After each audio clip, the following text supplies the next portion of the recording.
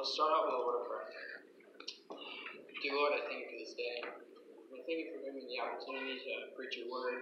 Um, I pray that, that this message would, uh, that someone would just get something from this message and help me to just not be nervous. Um, want to say what you would want me to say, Lord. I just thank you for this day. In Jesus' name, amen. So right now I'm going to just present the gospel to you all. Uh, says in Romans 3.23, for all sin short the glory of God. So we're all sinners. Um, and if you do not know where you're going when you die, you can know right now.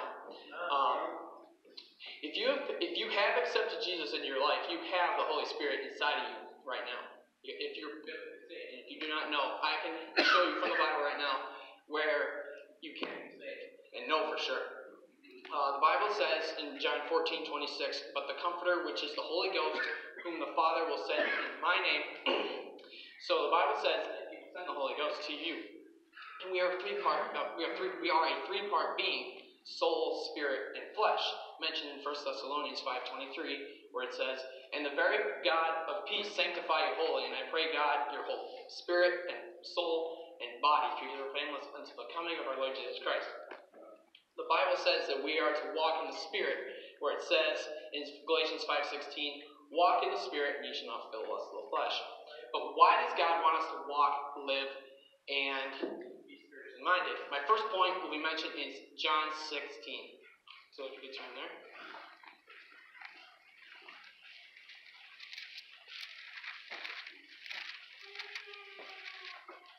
Starting verse 12, it says, I have yet many things to say unto you, but you cannot bear them now. Howbeit, when he, the Spirit of truth, is come, he will guide you into all truth. For, and for he shall not speak of himself, but whatsoever he shall hear, that he shall that shall he speak, and he will show you things to come. So the Spirit will guide you into all truth.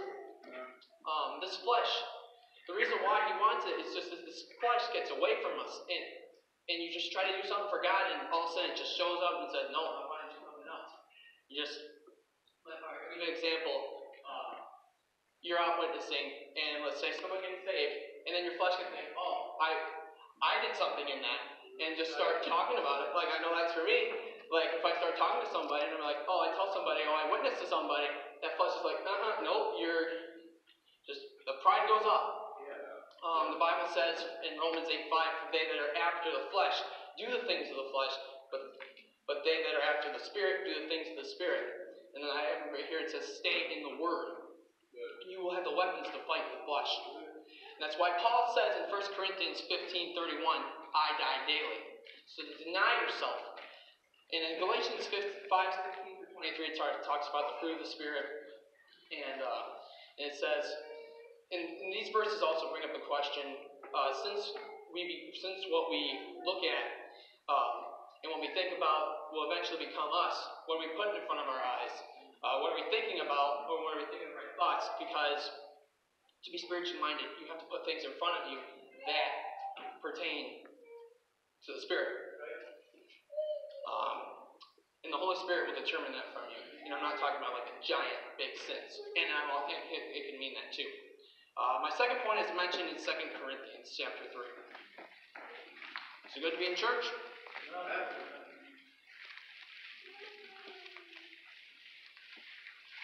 Alright, uh, 2 Corinthians 3 17 through 18 says, Now the Lord is that Spirit, and where the Spirit of the Lord is, there is liberty. So God is a Spirit, and the Holy Spirit is a Spirit. But we all, with open, open face, beholding as in glass the glory of the Lord, are changed into the same image from glory to glory, even as by the Spirit of the Lord. So my second point is the Holy Spirit will help us become more like Christ.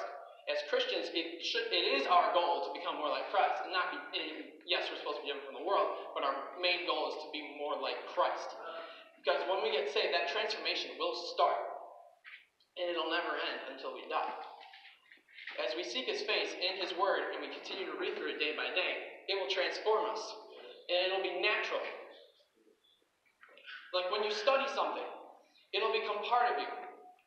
Like in college, if I study something over and over and over and over, it'll become ingrained in me. So we gotta be careful. That the Bible should be ingrained in you.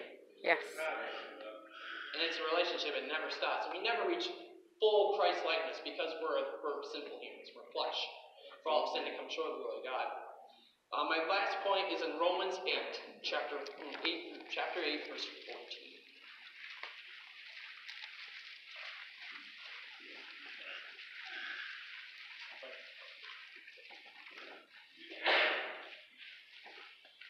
Romans 8:14 says, "For as many as are led by the Spirit of God, they are the sons of God.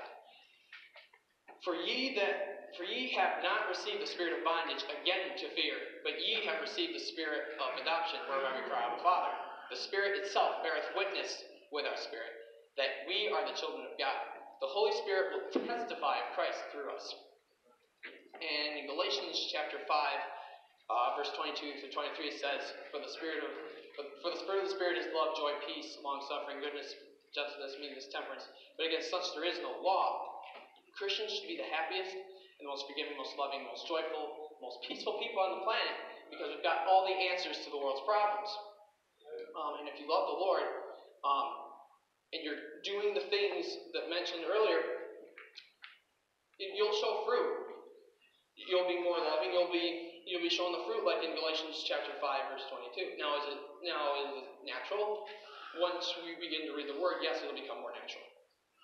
Um, but, and then my last, so in conclusion, uh, God gives the Holy Spirit for three purposes to guide us into all truth, to become more like Christ, and to testify Himself through us, because that's what we're here on this earth for. We're to testify of Him.